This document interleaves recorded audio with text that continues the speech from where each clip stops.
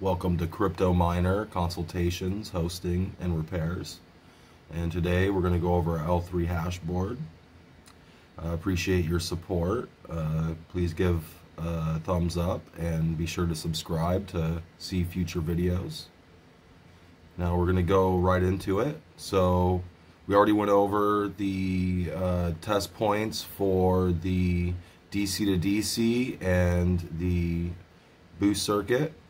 Now, first thing you need to know is, is that if you have like a shorted board, it seems that you want to test these points here and probably will have a bad capacitor here.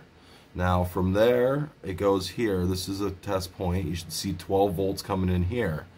Now, if there's no voltage going into the DC to DC test point, you probably won't get anything from the boost circuit either. So the next thing we need to do is, is we need to test over here on the Q chips. And we're going to go ahead and test that right now. So first thing you do is you plug in the board. No data cable, just the power cable.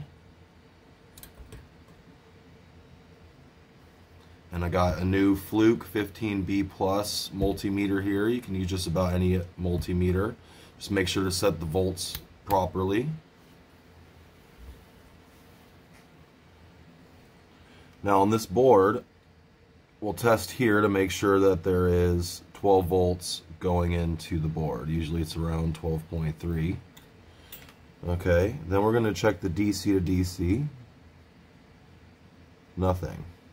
Okay, so now we're going to test these chips. It's the same thing on an S9 board. All these are ground right here, all the top ones are all ground. Okay, so it doesn't matter which one you place the ground on. And then you want to check each pin. Okay, you see that? It's all it's um, voltage is just going right through it. It's not regulating the voltage whatsoever. Okay, so this is bad.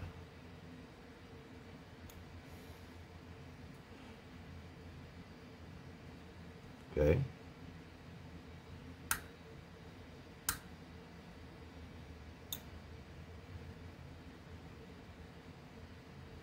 And you see the last one here has nothing. No voltage. Alright, so that concludes the video. Um, again, appreciate the support. Anything helps. All the tools and everything for this is uh, not cheap. And uh, you can definitely check out a Discord channel I'm a part of. Uh, link will be in the description below.